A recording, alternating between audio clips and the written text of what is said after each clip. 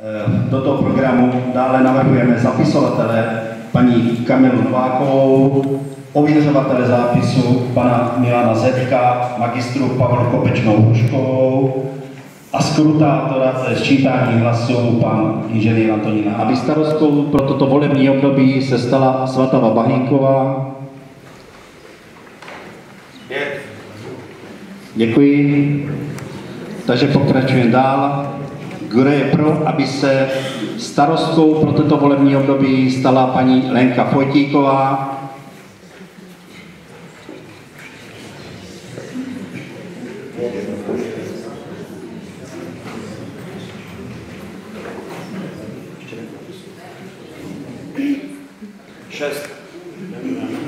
Takže blahopřeji paní Lence Fojtíkové.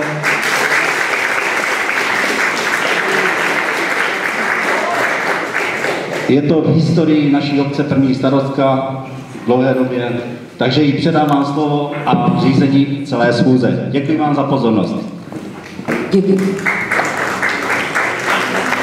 Děkuji zastupitelům, kteří mě dali důvěru a všem voličům, kteří nám dali hlas.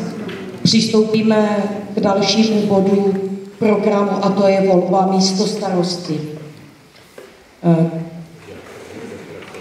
Vyzývám zastupitele, aby podali návrhy na místo starostu. Navrhuji kandidáta pana Milana Zetku.